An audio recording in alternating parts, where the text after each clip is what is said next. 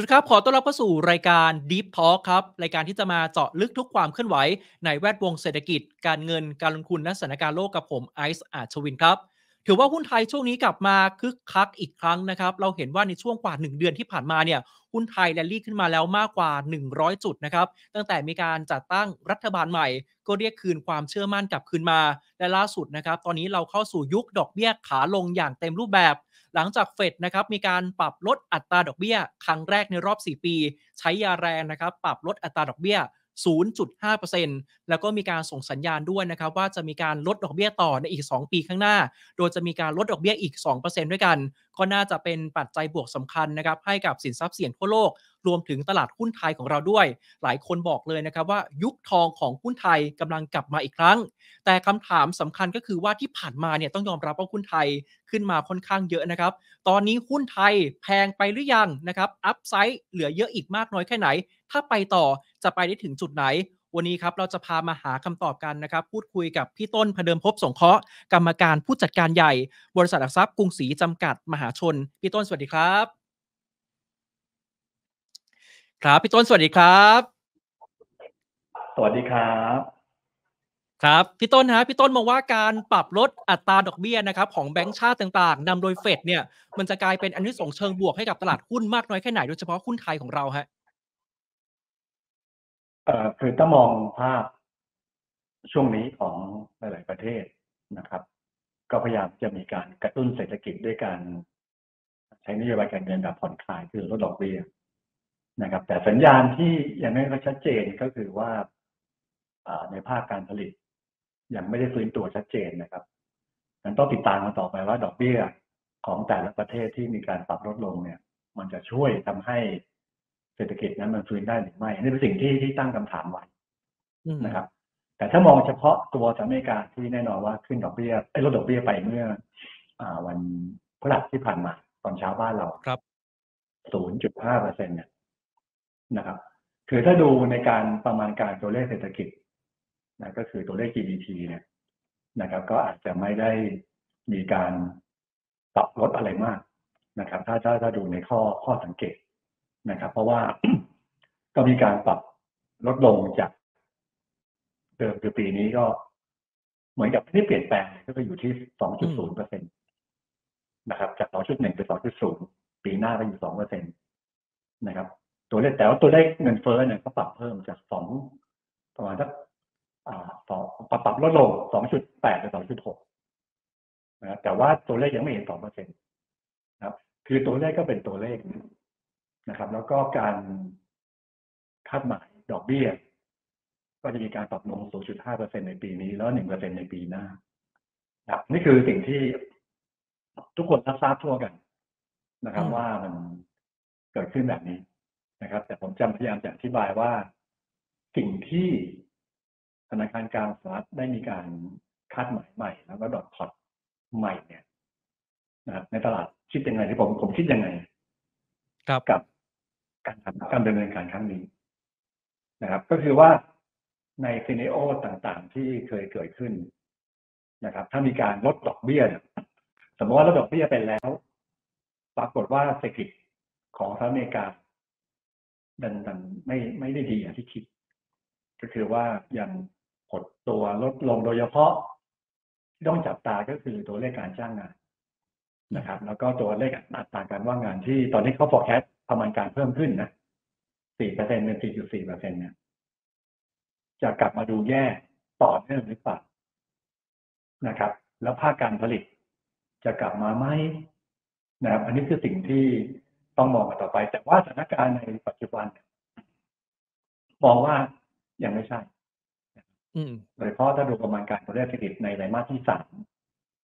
ก็ยังเป็นตัวเลขประมาณการที่ลดลงเล็กน้อย จากไตรมาสที่สองเนี่ยอยู่สามเปอร์เซ็นตนะครับ แต่ว่าเฟดสาขาแอตแลนต้าก็มองสักสองเปอร์เซ็นกว่าๆแต่ว่าประมาณการของบูมเบิร์กยังยัง หรือว่าของค่าเฉลี่ยเนี่ยยังมองหนึ่งเปอร์เซ็นกลางๆนะฮะนะครับนั่นแสดงว่า ในมุมตัวเลขมันยังขัดแย้งกันอยู่ ว่าเศรษฐกิจมันจะดูแล้ว ติดอ่าเรียกว่าชะลอตัวลงเล็กๆน้อยๆหรือว่าลงมาเยอะคือจากสามเป็นหนึ่งหรือว่าสามเป็นสองกว่าๆนี่คืออธิบายง่ายอืมๆนะครับ ซึ่งตรงนี้ในประวัติศาสตร์ที่ผ่านมาเนี่ย มันก็มีทั้งที่ปรับดอกเบี้ยแล้วหุ้นลง แล้วก็ตัว GDP ลงต่อแล้วหุ้นลง ครับนะครับ หรือมีบางครั้งก็ปรับตัวขึ้นไป นะที่กันที่หนึ่งคือเรื่องของเศรษฐกิจ อีกอันหนึงก็คือว่าความกังวลว่าดอกเบี้ยปรับลดแล้ว 0.5เปอร์เซ็นแรงมาก แล้วเดี๋ยวเงินเฟ้อจะมาอะแล้วเงินเฟ้อจะมา หรือไม่นะครับ คือถ้ามันมาสองเด้งเลยก็คือว่าเศรษฐกิจเรียกว่าชะลอตัวลดลง แล้วเงินเฟ้อมาด้วย ผมว่าก็ ในฝั่งของตัวหุ้นทั้งโลกเลยผมว่าก็ว่าได้นะก็คงจะ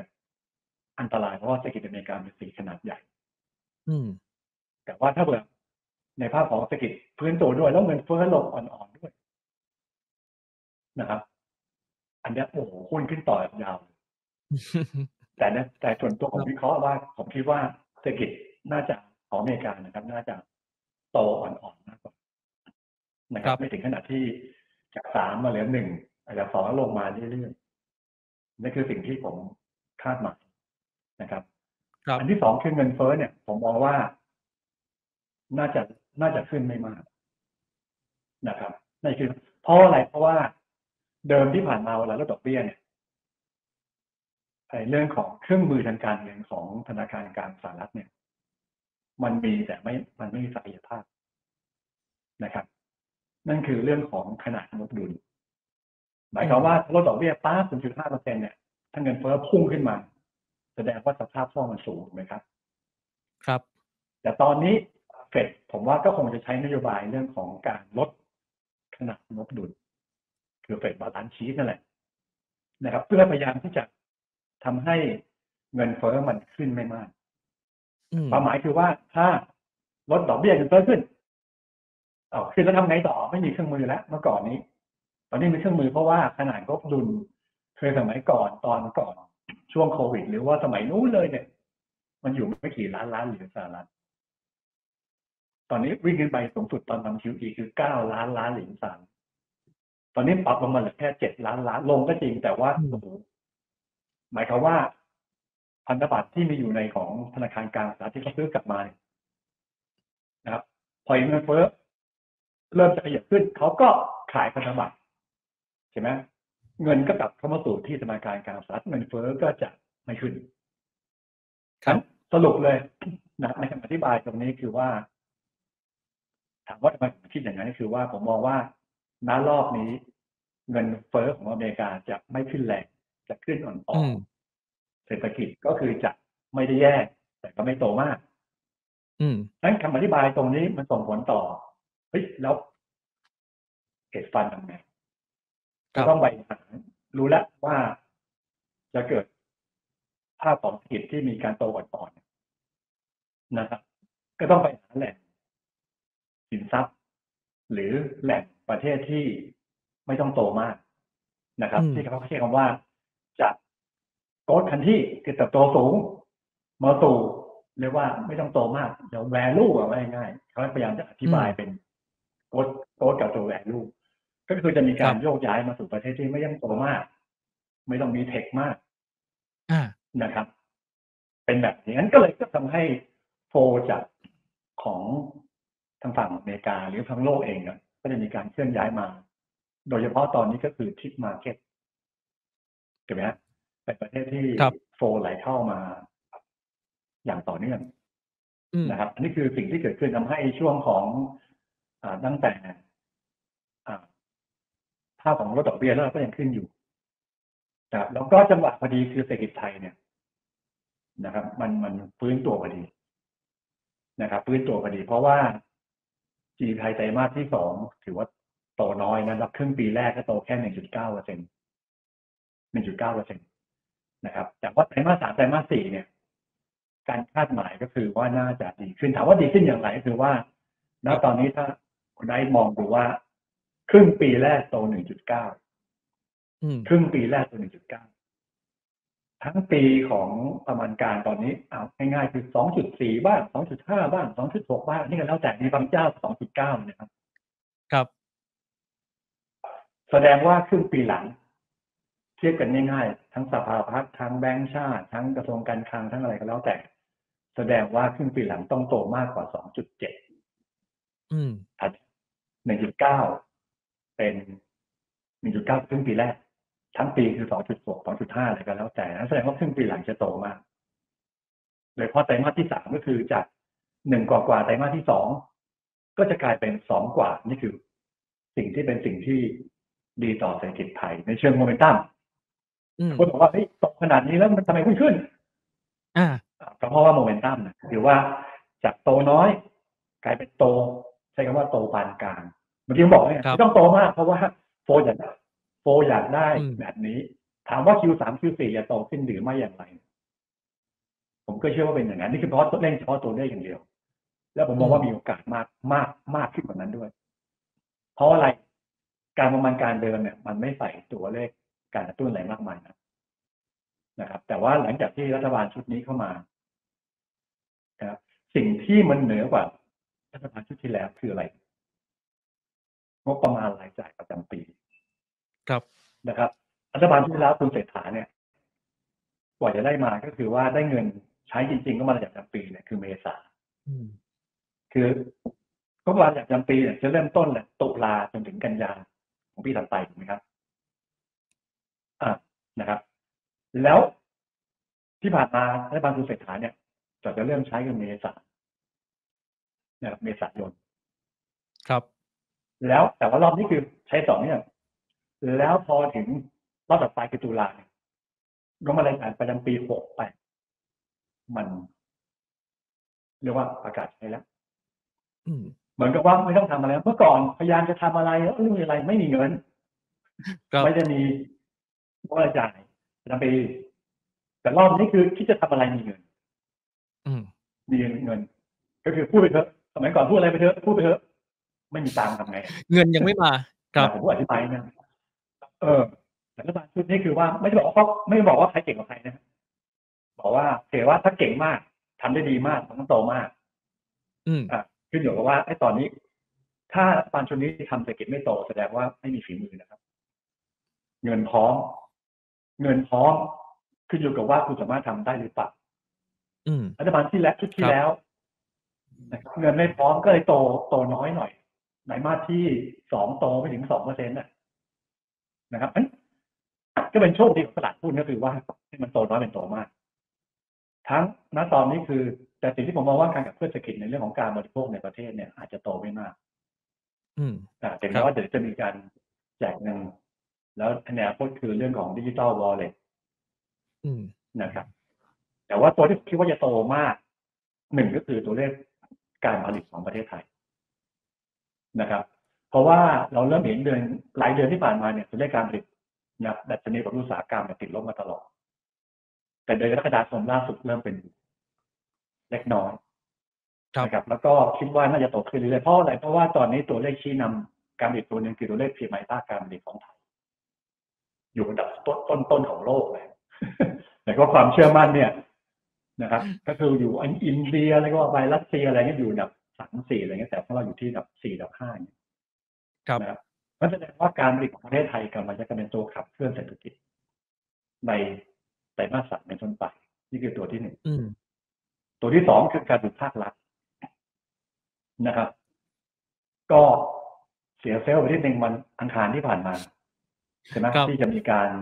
อ่าเข้าคอรมอเรื่องหนึ่งแสนล้านบาทให้กับโปรเจกต์อะนะครับ ก็ไม่ไม่มีการพูดถึงเลย นะครับครับ แต่เชื่อว่าจะไปมาเรื่อยทั้งแลนด์บริดจ์ทั้งในเรื่องของเอ่ออะไรตัว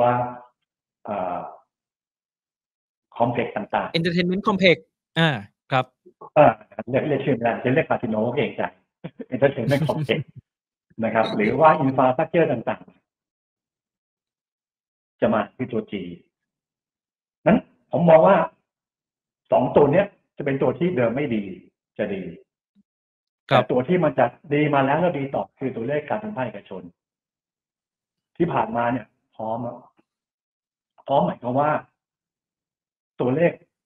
การนำเข้าสินค้าทุนมาสี่ห้าเดือนที่ผ่านมาเนี่ยโตเยอะนะครับทำให้ดุลการค้าเรายังไม่โตเลยติดลบนะฮะส่งออกก็โตนำเข้าก็โตอืมใช่ไหมครับ แต่นำเข้าส่วนใหญ่อดีตที่ผ่านมาเนี่ยนำเข้าสินค้าทุนนำเข้าเครื่องมือเครื่องจักรเข้ามาเยอะ ครับ confirm ก็คือว่าเมื่อกี้บอกคือนำเข้าสินค้าทุนแล้วตัวเลขการผลิตภาคอุตสาหกรรม เมื่อกี้ที่บอกมา PMI ภาคการผลิตที่ผ่านมา แล้วสำคัญก็คือว่าตัวเลข PMI ภาคการผลิตที่โพสต์ในตัว S&P คือของ ICE Market เนี่ย ในเดือนมิถุนายนเขาเขียนว่าการจ้างงานความมั่นใจของผู้ผลิตเนี่ย การจ้างงานสูงสุดเป็นปฏิการนะครับ อืมเชื่อไม่เชื่ออย่าลบหลู่ นะผมพูดพูดพูดพูดผมพูดในเชิงตัวเลขนะฮะแต่ความรู้สึกของไอซ์หรือของท่านผู้ชมทั่วไปก็จะบอกว่าเฮ้ยเขามีแต่ข่าวปลดงานคนงานก็ใช่อ่าเพราะเวลาเขาลงข่าวเขาไม่ลงงานเขาไม่ลงข่าวว่ามันมีการจ้างงานเพิ่มนะเขาเราอินกับตัวเลขการปลดคนงานเนี่ยเพราะฉะนั้นในกระบวนการต่างๆนี้ผมก็มองว่า GDP ไทยในช่วงเนี้ยน่าจะโตได้ดี มีโอกาสโตขึ้นไปถึงไตรมาสสามไตรมาสสี่ ครับหรือไตรมาสหนึ่งปีหน้า ซึ่งประมาณการตอนเนี้ยเศรษฐกิจไทยในค่าเฉลี่ยนะครับ จะมองว่า GDP ไตรมาสที่หนึ่งปีหน้าจะพีคสุดอืแบบมไม่ให้ดีพีคสุดแสดงว่านั่ครันบคือหุ้นจะพีคสุดถูกไหมไตรคมารัสหนึ่งปีหน้าหุ้นจะพีคสุดในอ่าใช่ไตรมาสหนึ่งครับปีหน้านะครับไตรมาสหนึ่งปีหน้า จะพีคแต่ว่าเศรษฐกิจพีคก่อนแต่หุ้นไม่หุ้นไม่พีคหุ้นไปพีคตอนอืมช่วงของการประกาศตัวเลขเศรษฐกิจ รายไตรมาสไตรมาสที่หนึ่งก็คือกลารพฤษภาครับหมายความว่าการพฤษภาปีหน้าเนี่ยผมมองว่านั่นแหละจุดสูงสุดของหุ้นไทยอืม ในรอบนี้เอ่อในรอบนี้รอบใหญ่นะหมายความว่านี่คือพูดกันอ่าใหญ่ๆนานๆจะเข้ามาทางครับอ่ารายการทีนึงครับนี่คือภาพใหญ่ครับที่ที่มองเป็นแบบนั้นนะครัครับพี่ต้นแล้วฮะก็คือเห็นสำคัญภาพก็เลยคือว่าในเวลา ครับ ครับเชิญครับ คืออยากถามพี่ต้นคือเห็นภาพเลยพี่ต้นฉายภาพให้เห็นว่าอะโฟเองกำลังไหลเข้าตลาดทิปนะฮะเศรษฐกิจไทยฟื้นตัวอย่างต่อเนื่อง เดี๋ยวเศรษฐกิจไทยจะไปพีคที่สุดไตรมาสหนึ่งปีหน้าปี 2568 หุ้นไทยเองก็เตรียมทำพีคในรอบนี้คือกลางเดือนพฤษภาคม งั้นถามว่าพีครอบนี้พี่ต้นฮะหุ้นไทยเซ็ตอินเด็กจะไปอยู่ที่เท่าไหร่ฮะครับ คือสไตล์ที่ผมแนะนำเนี่ยส่วนใหญ่ผมจะไม่ค่อย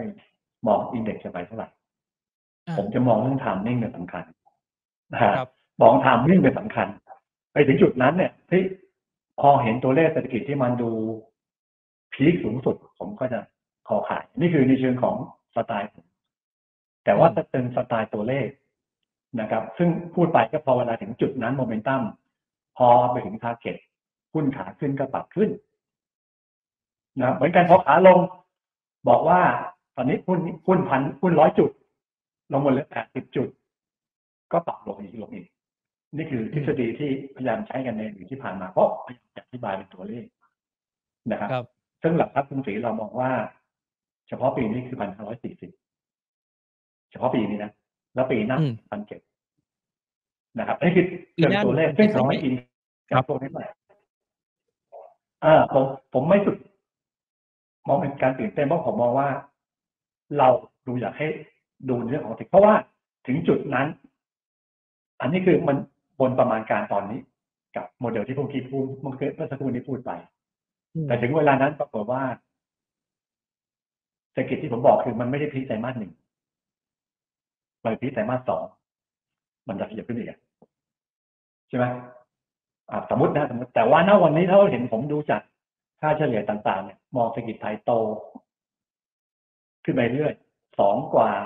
ขึ้นไปถึงสามต้นๆแล้วลงมาเหลือสองกว่าคือไตรมาสสองผมก็เลยตีความแบบนั้นผมเอาตัวเลขเศรษฐกิจประมาณการมาเป็น มาเป็นเรื่องของตัวการลงทุนนะครับอืมที่พยายามจะอธิบายให้ให้ให้ให้เห็นภาพภาพชัดเจน นั่นแสดงว่าถ้ามองอินเด็กซ์ปีนี้คือพันร้อยสี่สิบนะครับครับแต่ปีหน้าปีหน้าก็น่าจะไกลกว่านั้นนะครับ เพราะว่าหลายคนมองคือสิ่งที่มันคาดการณ์ก็คือว่ากำไรต่อหุ้นเนี่ย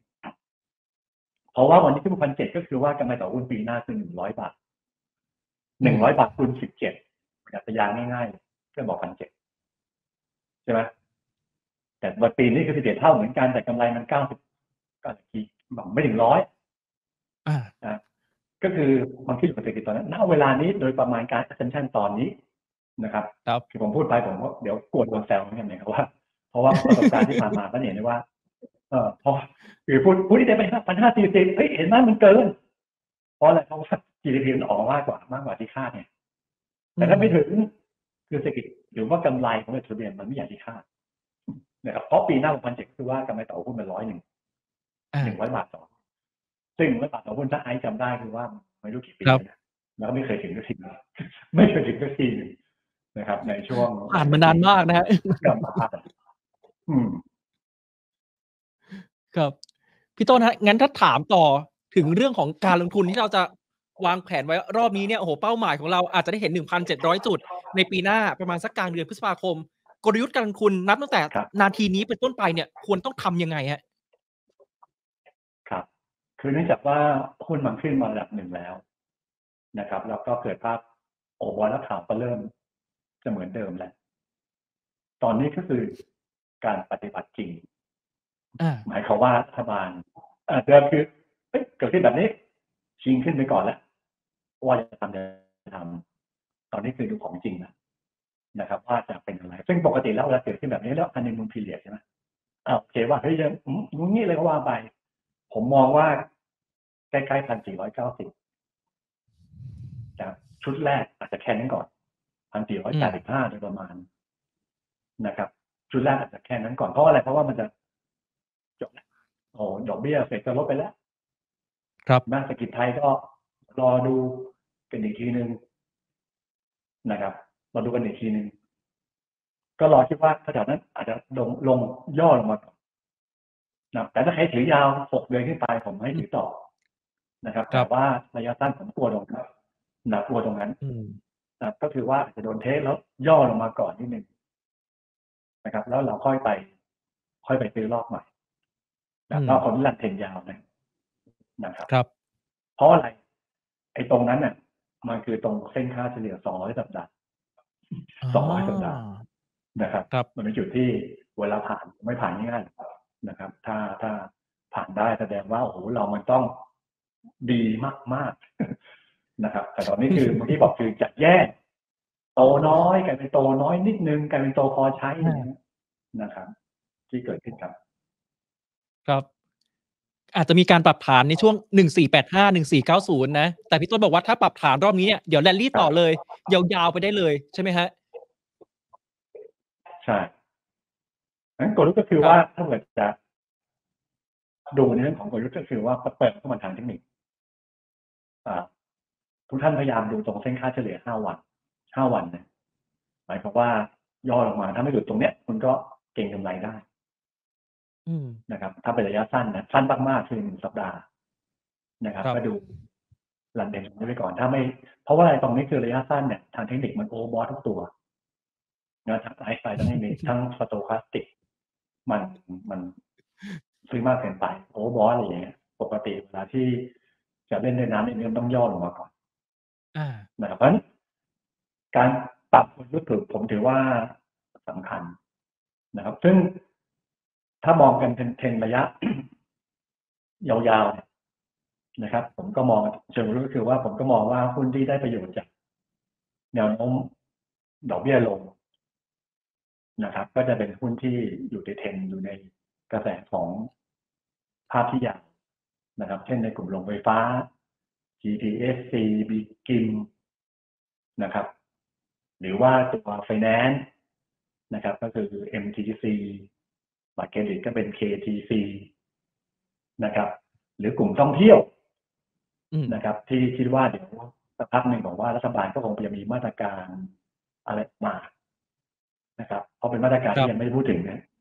นะครับเป็นของใหม่แต่ว่าคนก็รับรู้แหละว่ามีโอกาสที่จะมีการกระตุ้นหลายตัวขึ้นไปแล้วนะครับ ถ้าเป็นพวกการท่องเที่ยวก็คือ AOT บางกอก Airway นะครับ หรือว่าจะเป็น ที่เกี่ยวข้องกับโรงแรมโรงแรมโรงแรมก็เรามี AWC แล้วก็มินนะครับอืมแล้วก็กลุ่มเทคโนโลยีนะครับความจริงแล้วก็อาจจะไม่ได้ชอบที่สุด แต่ว่าปรากฏว่ามันมีเรื่องของ Data Center เข้ามานะคครัรับบที่ Microsoft หรือหลายๆคนก็อยากจะมาลงทุน Data Center ในประเทศไทยนะครับ ก็มี Delta b o b i t แล้วก็ BEA นะครับ อันนี้เป็นชุดที่ยาวเล่นตามธีมร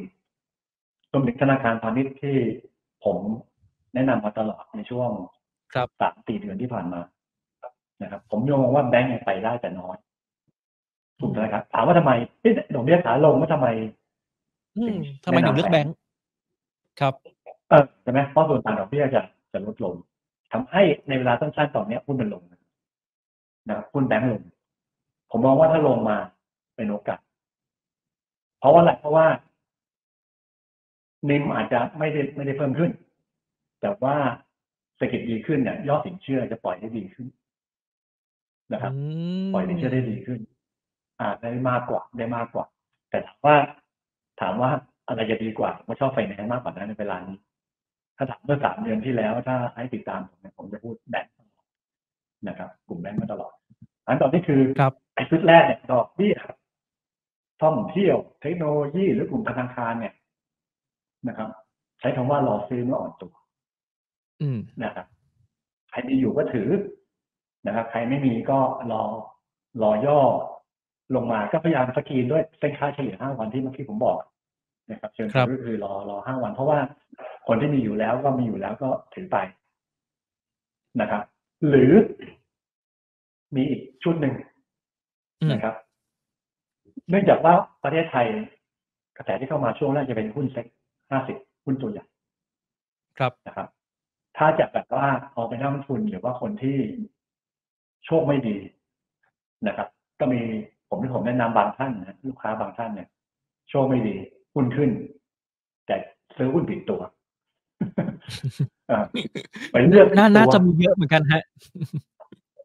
ใช่ มันมีอีกวิธีหนึ่งก็คือว่าคุณไปซื้อกองทุนหุ้น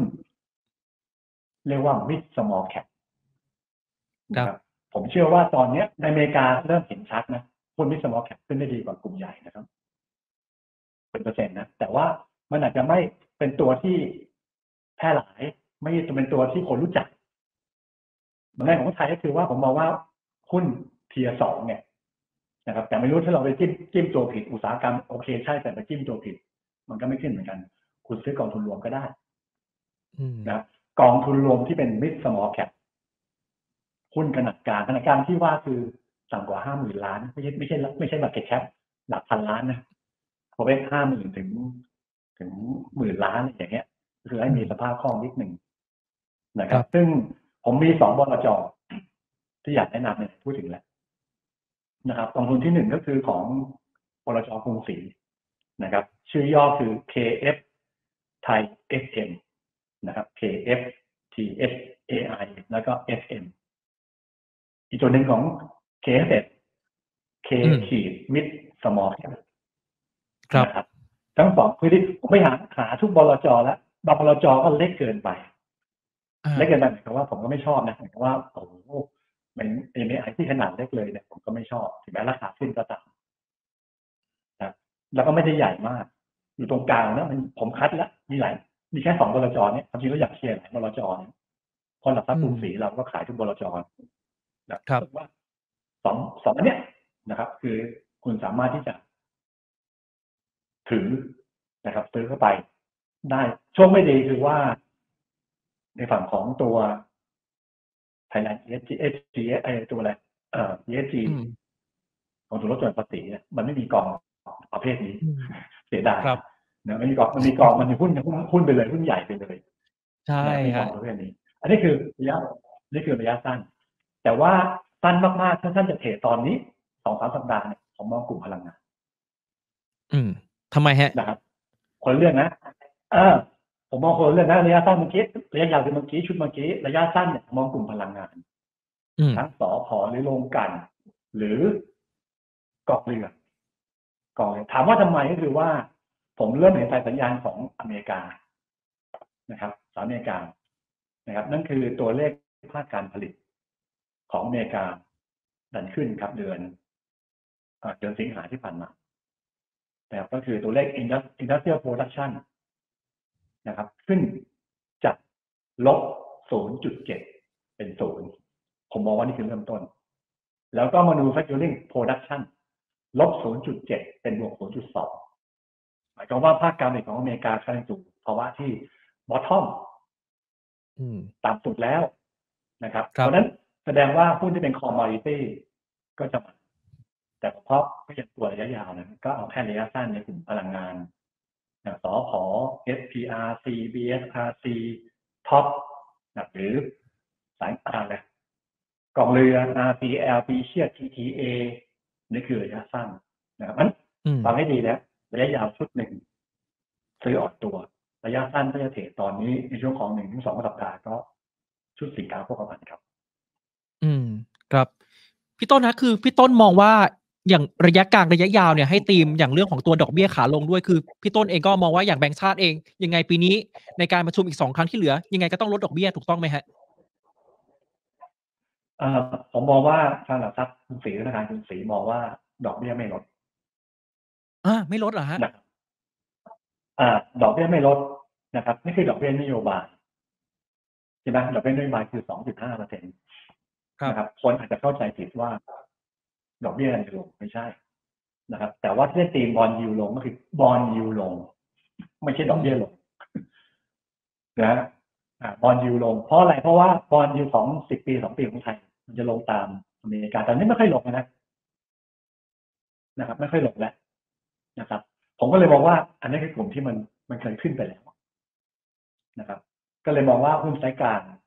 คือ จริงๆอะใจชอบหุ้นที่เกี่ยวข้องกับดอกเบี้ยเนี่ย ผมชอบเป็น tier สองมากกว่าอืมถ้าจะซื้อนะฮะครับ นะครับ แต่วันที่เราเชิญในเชิงของระยะยาว เทียร์สองหมายความว่าถ้าเป็นไฟแนนซ์อันนี้ไม่ได้คอของหลักทรัพย์กรุงศรีนะฮะเช่นหลังธานีเอเอเคเอสเอเชียเสริมกิจอะไรอย่างเงี้ย อืม อะคือ หรือตัวเลข JMP อะอย่างเงี้ยโอเคว่า ผมมองว่า เปอร์เซ็นต์จากความเสี่ยงจะมากกว่านะเข้าใจไหมก็คือว่า ผมไม่ได้มองว่า ดอกเบี้ยจะลงนะครับบอลยูมันลงมาหรือหรือเลือกตีมนี้ แต่ผมมองว่ามันใกล้ๆนะเพราะว่าตอนนี้บอลยูอเมริกาก็เริ่มจะไม่ลงนะอืมงั้นบอลยูไทยกันเรื่อยๆเขาก็จะไม่เริ่มไม่ลง แต่ผมไม่ได้มองในเรื่องของว่าเขาได้ได้ประโยชน์ไปแล้วส่วนหนึ่ง แต่สิ่งที่ผมมองหุ้นทุกชุดที่ที่แนะนำเนี่ยมันเกิดจากดีมาหมายความว่าตัวคิวเมื่อกี้พูดตัวพีนะตัวคิวหมายความว่าปริมาณการใช้ปริมาณการอะสินเชื่อเมื่อกี้บอกไป มันจะโตนะครับ ทั้งการใช้ไฟฟ้าก็จะโตขึ้นเพราะจริงแล้วอีไอตัวโรงไฟฟ้าเนี่ย ไม่ได้บอกว่าได้จากบอลยูลงนะนะครับเดิมคือเติมเดิมคือได้จากบอลยูโรจากนี้ไปคือได้จากการที่ ปริมาณการใช้จะเพิ่มขึ้นคิวจะเพิ่มขึ้นอืมครับนะครับอะไรก็จะเข้าใจนะครับ คือไม่ได้บอกว่า เพราะว่าเราก็เชื่อว่าดอกเบี้ยไหมเพราะว่าแหล่งจุดห้ากับตอนนี้เท่าไหร่ไม่ถึงประมาณห้าเปอร์เซ็นต์ก็ยังต่างกันอยู่อืมนะครับ แล้วก็แบงก์ชาติก็สังเกตไหมผู้ว่าการธนาคารประเทศไทยออกมาให้สัมภาษณ์บ่อยๆตอนนี้ สัมภาษณ์ว่าอะไรครับธนาคารกลางต้องเป็นต้องเป็นอะไรต้องเป็น กลางในการดำเนินนโยบายทางด้านเศรษฐกิจอะนะครับนั้นจะไปมองเพราะว่าอะไรเพราะว่าเพราะว่าถ้าเกิดขึ้นคือลดดอกเบี้ยแล้วสิ่งที่น่าห่วงคือเงินเฟ้อเดี๋ยวจะกลับมาตอนนี้เศรษฐกิจไทยไม่ได้ไม่ได้แย่นะนะครับ ไม่ได้แย่ ผมขอโทษนะครับ เพราะว่าบางคนบอกว่าทำไมคุณพูดอย่างนี้ ผมพูดถึงตัวเลขนะครับ ผมไม่ได้อยู่ในสายอาชีพเพราะจะมีบางท่านที่คนที่ดีจะไม่ค่อยพูด นะแต่คนที่ไม่ดีก็จะพูดอะไรเงี้ยเรื่องของเศรษฐกิจนะนะครับแล้วอันนี้โดยเฉลี่ยโดยเฉลี่ยนะครับที่เมื่อกี้บอกไปกำลังจะดูในสายที่เมื่อกี้บอกเรื่อง GDP ก็จะก็จะดีขึ้นนะพูดถึงดอกเบี้ยนี่จะพูดกันยาวนะครับ เพราะว่าซึ่งเป็นตัวเนี้ยเรื่องของการกำหนดนโยบายทางการเงินของแบงก์ชาติเนี่ยทำให้ความมั่นใจของนักลงทุนต่างประเทศ หรือสถาบันเขามั่นใจมากขึ้นนะ ก็คือว่า คนกำหนดนโยบายการเงินก็แยกกัน การคลังรัฐบาลก็แยกกันนะครับ แต่ว่าสังเกตว่าคุณพิชัยรัฐมนตรีว่าการกระทรวงการคลังของเราเนี่ย จะไปคุยเรื่องของอะไรตัวเลขของเงินเฟ้อเนี่ยผมว่ามาถูกต้องมาถูกทางคุยกันเรื่องเงินเฟ้อว่าไอ้เงินเฟ้อที่เราอยู่ปัจจุบันที่มันไม่มันมันกำลังจะสูงหรือว่าตอนนี้มันไม่สูงเนี่ย คือไส้ในเนี่ยมันมันเปลี่ยนไปแล้ว ครับที่ผมชอบแบบนี้นะหมายความว่า ต้องปรับเปลี่ยนนะว่าเงินเฟ้อไส้ไหนที่คุณคำนวณอยู่เนี่ยตอนนี้เงินเฟ้อไทยเนี่ยมันอยู่ไม่ไม่โตเลยเนี่ย มันใช่จริงหรือเปล่าใช่ไหมมันใช่จริงซึ่งผมว่าแบงค์ชาติมีตัวเลขไหมว่าเงินเฟ้อตัวจริงๆไม่ใช่ น่าจะสูงกว่านี้เออเลยไม่กล้าลดดอกเบี้ยอืมเข้าใจมันเห็นไหมครับนะครับวันนี้อาจจะยากที่นึงผมพูดทางเศรษฐกิจหมดเลยเศรษฐศาสตร์หมดเลยอธิบายพูดในหลักคือการว่าไงพี่ต้นต้องจะได้เห็นต้องภาพ ครับครับ พี่ต้นผมขอทิ้งท้ายด้วยเรื่องของค่าเงินนิดนึงโอ้ค่าเงินบาทโอ้แข่งค่าแรงมากตอนนี้จอจะหลุดสามที่สามบาทต่อดอลลาร์แล้วครับพี่ต้นมีมุมมองไงบ้างกับภาพของค่าเงินบาท แข็งต่อครับ อืมอุตสาหกรรมเลยคือคำอธิบายทั้งหมดเมื่อกี้เมื่อสักครู่นี้เศรษฐกิจเศรษฐกิจอเมริกากำลังจะรอตัว ครับเศรษฐกิจไทยกำลังจะฟื้นตัว จนถึงเมื่อไหร่ก็อย่างที่บอกเหมือนหุ้นเตะนะครับการรัฐสภา นะไปถึงไหนค่อยว่ากันนะครับ ซึ่งผมก็มีโอกาสที่เคยงานสัมมนาของทางเนชั่นและกรุงเทพธุรกิจครับนะครับ ในหลายเดือนก่อนก็พูดว่าเงินบาทจะแข็งมา ผมไม่คิดว่าจะเร็วขนาดนี้นะนะครับสามสิบสามเนี่ยตอนนั้นสามสิบห้านะไม่คิดว่าจะใช่ฮะก็คิดว่าสามสิบสามเนี่ยผมว่าหลุดผมว่าหลุดตอนนี้สามสามต้นต้นๆใช่ไหมบวกลบอยู่ตรงเนี้ยใช่ครับนะครับ มี ปาไปหมายนั้นแสดงว่าผมก็มองว่าค่าเงินบาทน่าจะแข็งโฟก็จะเข้าต่อครับอ่าคือโฟไหลเข้า พี่ต้นมองว่าจะลงไปถึงขนาดไหนฮะอืมจะไปสามสิบสองได้เลยไหมครับไม่มีไม่มีบทวิเคราะห์นะนะคือไม่ไม่มีไม่มีบทวิเคราะห์นะครับ ผมผมอ่าเขาเขามีอะแต่ว่าบทวิเคราะห์ของทางธนาคารกรุงศรีก็ไม่ได้มองแถวๆนี้แหละไม่ได้เยอะอ่า นะครับ แต่ผมคขรับออนุญาตความเห็นส่วนตัวคือว่าน่าจะแข่งไปเรื่อยมๆถือว่าตรงไหนนะครับผมจะพูดทางเทคนิคนะครับไม่ได้เอาฟันเดเมนทัลนะครับ ไม่ได้อ้างอิคงรับธนาคารนะครับสามสองสามสิบสองสามสิบสองจุดหกโลเดิม แล้วก็สามสิบสองของกำลังดูลากอีกนะฮะสามสองจุดห้าเห็นครับเห็นไหมฮะไหลไปจุดสามสอง นะอืมนะครับ โลจุดต่ำสุดเมื่อ เมื่อ วันที่เท่าไหร่นะขออนุญาตนะครับแป๊บหนึ่งครับ ประมาณปี2022เดือนกุมภาพันธ์2022นี่คือ32.32ทุ่นท่วนๆ32.5ก็ ช่วง36ก็ประมาณช่วง ต้นปี23ปีหนึ่งเลยนะต้นปีครับ22 32จุด32 ต้นปี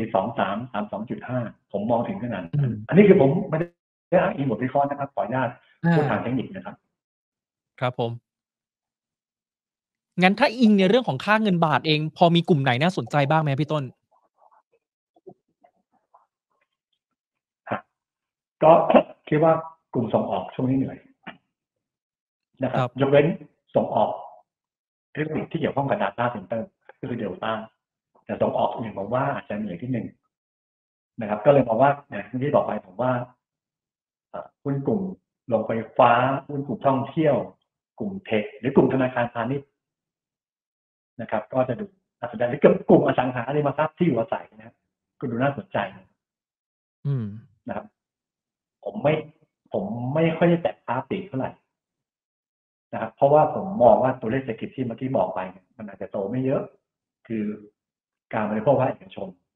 อันค้าปลีกก็โอเค แต่ว่าผมไม่ได้มองเป็นเป็นกลุ่มที่ที่อันดับต้นๆน่ะนะครับ ก็คือขึ้นแรงนะครับ แต่คว่ารับผมไม่ได้อันดับต้นๆ BPO BJC นะครับ ก็ยังพอนะ แต่ว่าไม่ใช่เป็น